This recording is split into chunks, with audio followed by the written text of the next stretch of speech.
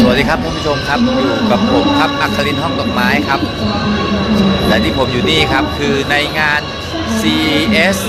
2019 นะครับ ที่ลาสเวกัสประเทศสหรัฐอเมริกาครับ วันนี้จะพามาดูบูธ Honda ครับผม ซึ่งเขานำเอาเทคโนโลยีใหม่ๆ มาจัดแสดงในงานนี้นะครับ เพราะว่างานนี้เป็นงาน จัดแสดงเทคโนโลยีนะครับ เดี๋ยวพาไปดูครับว่า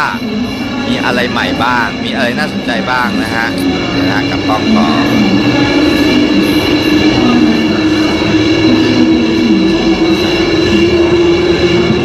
นี่นะครับ ตรงที่ท่านเห็นอยู่นี้นะครับ สัญลักษณ์ Honda Developer Studio นะฮะ เป็นหน่วยงานหนึ่งของทาง Honda Automobile นะครับ ในการพัฒนา เล่นใหม่ๆ ส่วนรถที่ท่านเห็นอยู่ตรงนี้นะครับ ตัวนี้ชื่อว่า Honda Pilot นะครับนะฮะ Honda Developer Studio ทำอะไรบ้างนะครับอะเดี๋ยวผมจะพาไปชมนะ แต่อันนี้ให้ดูฮะ Honda Pilot นะครับ ง่ายๆครับว่าเขาคือหน่วยงานที่สำตั้งขึ้นมาเพื่อพัฒนาแอปพลิเคชันต่างๆนะครับ พัฒนาพวกอินเทอร์เฟซ ระบบการใช้งานต่างๆที่อยู่ที่เราใช้กันอยู่บนรถเนี่ยฮะนี่นะครับอย่างคันที่เห็นนี้นี่นะครับนี่คันหนึ่งคันที่เห็นอยู่นี่นะครับนี่คันนี้นะฮะคันที่เห็นอยู่คันนี้นะครับคันนี้ก็คือ Honda Passport นะครับ ซึ่งก็จะได้รับการติดตั้งในส่วนของ แอปพลิเคชันใหม่นะครับ ซึ่งจะเชื่อมต่อกับโทรศัพท์มือถือ เป็นแอปพลิเคชันที่คุณดาวน์โหลดมาไว้บนมือถือ แล้วก็นำมาเชื่อมต่อเข้ากับตัวรถ โดยแอปพลิเคชันนี้นะครับ จะสามารถค้นหา อันนี้เราพูดถึงที่ประเทศสหรัฐอเมริกานะครับ จะสามารถค้นหาปั๊มน้ำมันหรือสถานที่ต่างๆ ได้อย่างง่ายดายนะครับ และคำนวณราคาค่าใช้จ่ายต่างๆ ไว้หมด อย่างครบถ้วนเลยนะฮะเมื่อคำนวณได้แล้ว นอกจากที่มันจะคำนวณได้ มันยังสามารถกดจ่ายตังค์ได้ด้วยเช่นเดียวกันนะครับ นี่นะฮะเดี๋ยวเดี๋ยวจะพาเข้าไปดูข้างในนะครับนี่ฮะนี่ให้ดูรอบๆคันกันก่อนครับสำหรับ Honda Passport ตัวนี้นะฮะนี่นะครับบริเวณด้านในนะครับ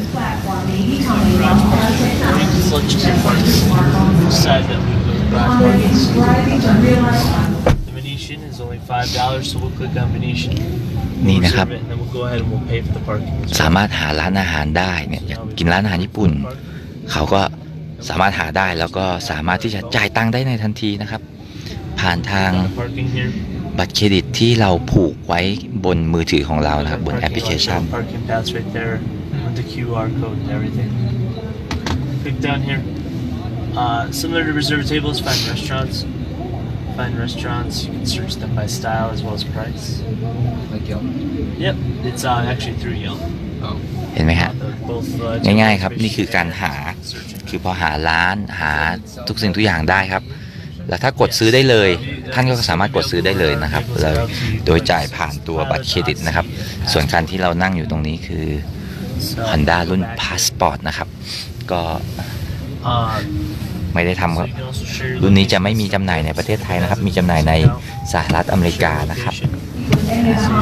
อะเรียบร้อยนะครับ นี่คืออีกหนึ่งเทคโนโลยีใหม่นะครับ ซึ่ง Honda ยังอยู่ในช่วงของการพัฒนานะครับ สวยเนาะคันนี้สวยสวยครับไซส์ใหญ่ด้วยนะครับสำหรับเจ้า Honda Passport ตัวนี้นะฮะ ดูฮะ ให้ดูนะฮะ เสียดายที่ไม่ได้ทำตลาดในบ้านเรานะครับสำหรับตัว Honda Passport ตัวนี้จะใหญ่กว่า CRV นะครับบอกไว้ก่อน นี่จะใหญ่กว่า CRV นี่นะครับอะพามาดูกันต่อครับ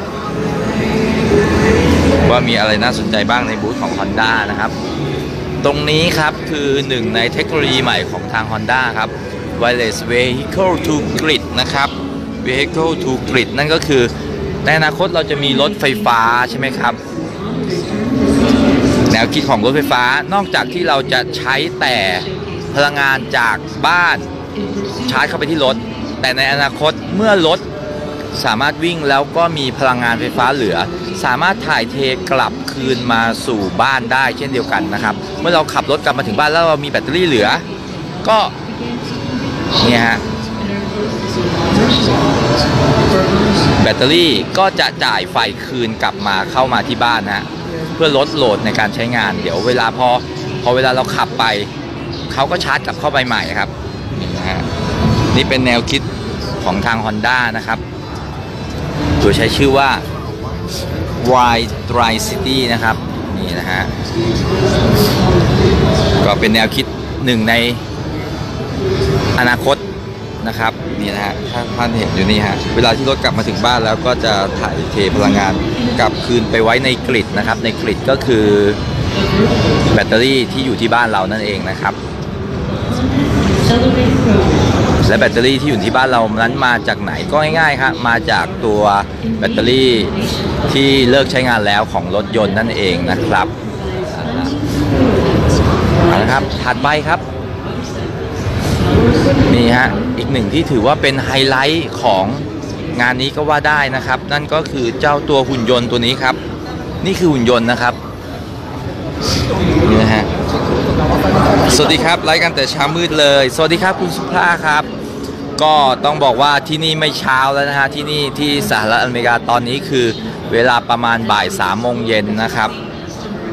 ก็เราก็กะว่าทุกท่านน่าจะตื่นกันแล้วฮะก็เลยจะ ตัดสินใจไลฟ์นะครับ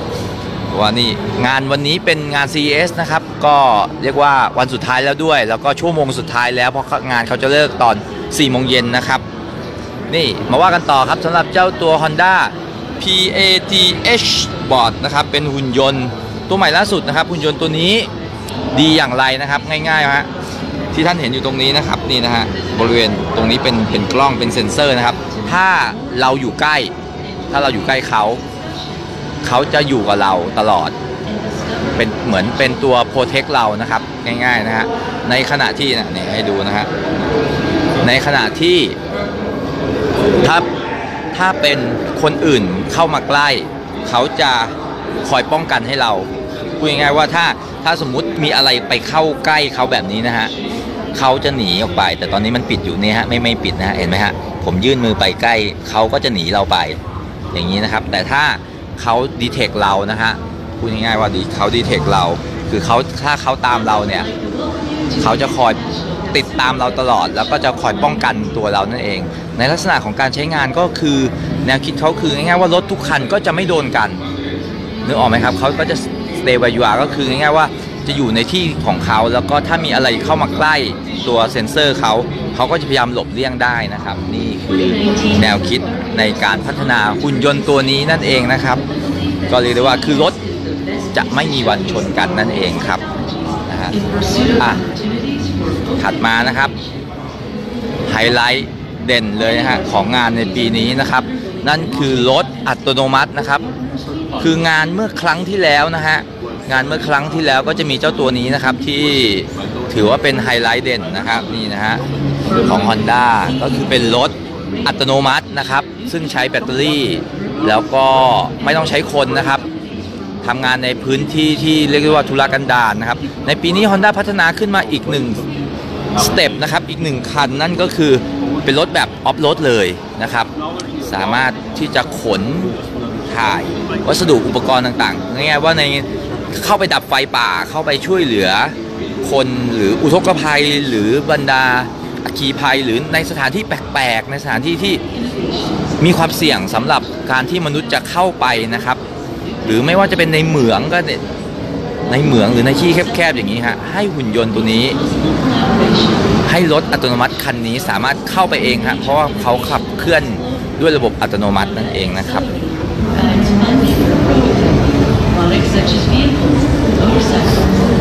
นะฮะ กันชัดๆ เพราะว่าคันนี้มากับโชคแล้วก็ระบบต่างๆที่ต้องบอกว่าสามารถใช้งานได้จริงนะครับนี่ฮะถ้าท่านได้ดูในวิดีโอสาธิตนะครับวิดีโอสาธิตเขาก็จะบอกเลยว่าเข้าไปลุยช่วยกันดับไฟป่านะครับนี่ให้ดูนะฮะนี่ฮะเวลาเกิดถ้าสมมุติว่าเกิดไฟป่าขึ้นมาครับ ก็จะมีทีมเข้าไป แล้วก็ขนอุปกรณ์ อย่างนี้นะฮะถามว่าอุปกรณ์ในการดับไฟป่าดักไหมหนักมากนะครับนี่นะฮะแต่ถ้าใช้เจ้าตัวนี้นะครับ autonomous work vehicle เนี่ยฮะเห็นไหมฮะขนอุปกรณ์พวกนี้ออกมาได้นะครับ แล้วก็วิ่งไปนี่ฮะ ก็จะช่วยได้เยอะมากเลยนะครับนะอะเป็นหนึ่งในแนวคิดใหม่ในการพัฒนารถนะครับนะครับก็เอาเป็นว่าระบบรถขับเคลื่อนอัตโนมัตินั้น คืบคลานเข้ามาใกล้ ใกล้จะเป็นจริงแบบสมบูรณ์เข้าไปทุกทีนะครับนี่มาดูกันต่อนะครับสำหรับระบบหนึ่งในระบบรถอัตโนมัตินะครับ ที่พัฒนาแต่ตัวนี้เป็นซอฟต์แวร์นะครับ ชื่อ Safe Swarm นะครับ ลักษณะของการใช้งาน ลักษณะของการคิดค้นของเขาก็คืออิงจากฝูงปลาครับฝูงปลาที่ว่ายน้ำเนี่ยนะฮะว่าทำไมปลาว่ายน้ำไม่ชนกัน เพราะทุกเพราะปลาทุกตัวมีเซนเซ็นเซอร์หรือมีเรดาร์เพราะฉะนั้นรถยนต์น่ะถ้าทุกคันมีเซ็นเซอร์และเรดาร์เข้าไปช่วยในการขับเคลื่อน รถจะไม่ชนกันเลยนะฮะนี่ฮะนี่คือแนวคิดของ Safe Swarm นั่นเองนะครับ ง่ายๆว่ารถรถระหว่างรถแต่ละคันเนี่ยคุยกันได้ คุยกันเอง โดยที่ผู้ขับ ไม่จำเป็นต้องตัดสินใจในการควบคุมใด ๆนะครับ นี่คือตัวรถควบคุมกันเองนะฮะ Partners we gained here at CES. Some of these technologies began taking different shapes and are close to being commercialized. For เห็นไหมฮะ Honda, อ่านี่ CES has been a great event to share new technologies we are นี่ currently อย่างนี้ working นะฮะ on เห็นไห มครับเขาก็สามารถที่จะตรวจจับต่างๆได้ ไม่ว่าจะเป็นมนุษย์ที่เดินถนนอยู่ เขาก็สามารถตรวจจับได้นะครับ นี่คือหนึ่งในนวัตกรรม และนี่อีกหนึ่งนวัตกรรมใหม่ครับ ชื่อว่า Omni Traction Drive System นะครับ Omni Traction Drive System เป็นอย่างไรนะครับนี่ฮะสาธิตให้ดูตรงนี้ฮะเป็นล้อล้อเดียวที่เดินหน้า อันนี้คือถอยหลัง และถ้าต้องการที่จะเลี้ยวซ้ายนี่นะครับรถก็จะเลี้ยวซ้ายได้นะครับเนี่ยจะมีล้อตรงกลางที่หมุนไปนี่ครับเราเลี้ยวซ้ายเลี้ยวขวาก็แค่นี้เองฮะล้อก็จะหมุนกลับมาล้อล้อเดียวสามารถไปได้ทุกทิศทุกทางนะครับ ไม่ว่าจะเดินหน้าถอยหลังเลี้ยวซ้ายเลี้ยวขวาสามารถคอนโทรลได้ด้วยล้อเพียงล้อเดียวนะครับนี่ฮะ